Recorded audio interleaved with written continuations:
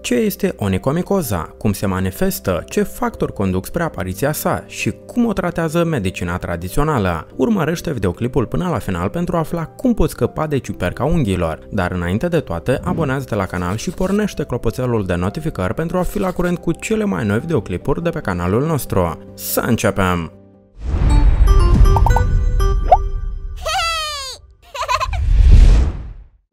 Aproximativ 10-20% dintre oameni pot raporta o modificare a aspectului unghiilor de la picioare. Nu toată lumea știe ce se întâmplă ca urmare a infectării unghiilor. Ciupercile sunt microorganisme care fac parte din clasa de jos a plantelor. Sunt plante parazite superioare a tot felul de păsări, animale și oameni. Ce este onicomicoza? Infecția cu ciuperca unghiilor se numește onicomicoza. Ea parazitează unghiile provocând modificarea plăcii patului unghial și matrice, zonele de creștere a unghiilor. Există trei tipuri de ciupercă. Dermatofite, care reprezintă majoritatea de cazuri de această infecție, aproximativ 60%. Ciuperca de mucegai este etiologia a aproximativ 20% din boli. Aproximativ același număr de infectări o au și ciupercile de drojdie. Dar să știți că este posibilă infectarea cu mai multe tipuri de ciuperci sau bacterii. Infecția apare la contact direct cu agentul patogen. Pe unghii nu există suficientă imunitate locală, prin urmare unghia se infectează imediat. Așezându-se pe unghie, ciuperca secretă țesut destructiv pe enzimele unghiilor, ceea ce promovează pătrunderea lor mai profundă. Procesul începe de obicei de la marginea unghiei, prinde patul unghial și apoi se întinde pe toată suprafața. După natura suprafeței infectate, se disting mai multe feluri de unghii infectate cum ar fi leziunea normotrofică, când doar se schimbă culoarea unghiilor, iar structura sa nu se schimbă. Forma hipertrofică se caracterizează prin îngroșarea și deformarea unghiei, devine strâmbă și se îndoaie ca o gheară de păsări. Forma atrofică sau onicolitică duce la degradarea plăcii unghiale, dezlipirea unghiei de patul unghial, iar spațiul liber este acoperit cu suprapuneri strânse. Dezvoltarea oricărei forme de onicomicoză are loc lent. Primele semne nu apar întotdeauna la suprafață, iar cu forma mai severă este mult mai greu să lupți. Cum se manifestă boala? Puteți detecta ciuperca la unghie prin următoarele semne. Roșața pielii din jurul unghiei se poate localiza mai întâi pe un singur deget, apoi procesul merge pe celălalt picior. Focarul hiperemiei nu provoacă durere, eventual o ușoară mâncărime. Cu timpul, hiperemia din jurul unghiei devine mai puțin strălucitoare, pielea își schimbă structura, se usucă, se exfoliază și apar mici fisuri. Cam în același timp, unghia în sine își schimbă culoarea, devine tulbură și întunecată. La o examinare mai atentă se pot vedea zone vopsite în galben, verde, violet sau culori negre. Este posibilă apariția nuanțelor gri sau albe, adică unghia își pierde aspectul natural. Pe lângă schimbarea culorii se modifică și textura unghiilor. Fie se îngroașă și devine densă, fie se distruge, devine poros, se sfărâmă și slăbește. Apare un miros neplăcut la picioare care devine mai accentuat atunci când transpiri. Pe măsură ce boala progresează, este posibilă avansarea pe piele, apare mâncărime severă, iar în unele cazuri apar senzații dureroase.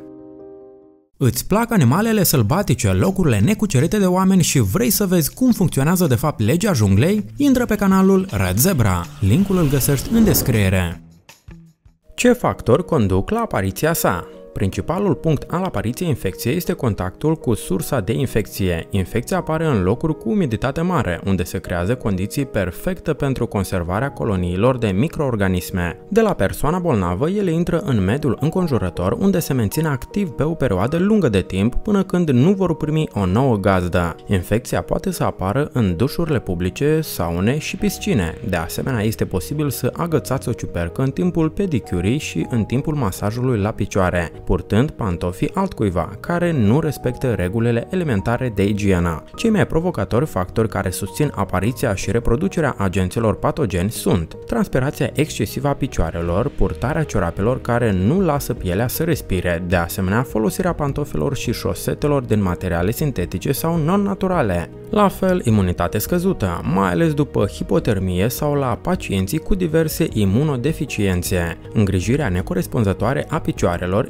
igiena precară. Cursurile repetate de antibiotice duce la disbioză și crește posibilitatea de dezvoltare a florei de ciuperci. Prezența microtraumelor la nivelul picioarelor, calosuri, abraziuni, veruz și bătături care slăbesc mereu forțele locale de apărare, care duc la pătrunderea ușoară a infecției. Într-o cantitate mică, ciupercile mereu se află în mediul înconjurător. Sunt activate atunci când sunt disponibili factorii care contribuie la asta și care scad sistemul imunitar. Pentru prevenirea și tratarea infecției fungice, onicomicoza sunt folosite medicamente antifungice. Medicina tradițională are rețetele sale eficiente pentru lupta cu această boală urâtă.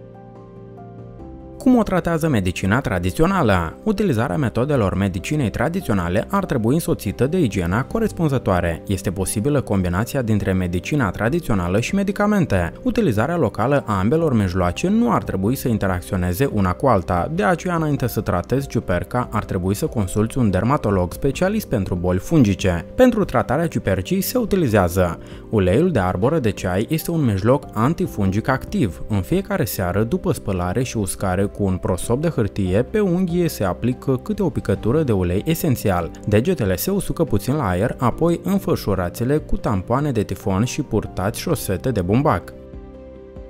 Proprietăți dezinfectante speciale o are tictura de iod de la 5%. De două ori în timpul zilei trebuie să prelucrați patul unghial și pielea de în jur până la dispariția totală a zonei infectate. Proprietățile fungice a gudronului de mesteacăn. Acest lichid mirositor trebuie pus câte o picătură pe fiecare unghie, după ce faceți baie cu aburi la picioare și după ce le uscați cu prosopul de hârtie. Această procedură trebuie făcută de două ori pe săptămână. Între aplicarea gudronului, picioarele nu trebuie udate. Propolisul ajută la combaterea infecției. Tictura de propolis de 20% trebuie aplicată pe tamponul de bumbac, care apoi trebuie legat bine de degete și ținute 24 de ore, după care trebuie să curățați partea de sus și să repetați procedura de nou. Sucul de celandine, care este eliberat atunci când planta este tăiată, trebuie aplicat pe unghiile afectate de mai multe ori la rând, cu o pauză de 2-3 minute. Oțetul creează un mediu acid, ceea ce este fatal pentru ciupercă. Trebuie să pregătiți o soluție de oțet și apă într-un raport de 1 la 8. Picioarele trebuie spălate într-o apă fierbinte și îndepărtată partea superioară a unghiilor. Puneți picioarele în soluția de oțet timp de 15 minute. Faceți această procedură o dată la 2 zile.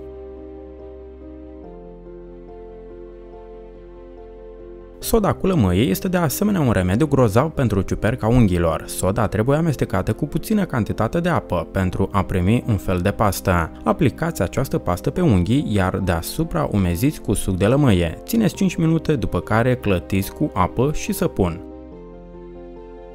Utilizarea peroxidului de hidrogen. Ciuperca se teme de oxigenul activ. Mai întâi trebuie să aburiți picioarele într-o soluție de sifon făcută dintr-o linguriță de bicarbonat de sodiu pe un litru de apă caldă. Unghiile afectate trebuie puțin tăiate, iar în locul lor este necesar să aplicați tampoane înmuiate în soluția de peroxid de hidrogen de la 3%. Țineți-le așa 40 de minute. Compresele cu usturoi ajută să scapi de ciuperca unghiilor. Căței de usturoi trebuie dați prin răzătoare, iar pasta rezultată trebuie aplicată pe zona afectată. Acoperiți cu celofan și banda adezivă. Lăsați peste noapte. Este posibil ca durerea să scadă.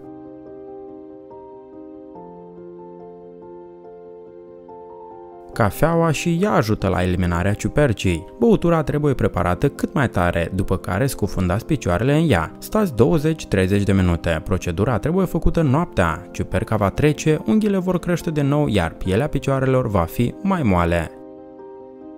Utilizarea unui decoct din amestecul de ierburi cu un dezinfectant activ. Tictura de gălbenele trebuie amestecată în mod egal cu mușețelul, celandina, brusture, liliacul, după care puteți adăuga propolisul. Timp de 30 de minute se fierbe o lingură de amestec în 100 de ml de apă clocotită. În tictura rezultată înmuiați tamponul de bumbac și puneți-l pe unghie. Țineți-l 30 de minute.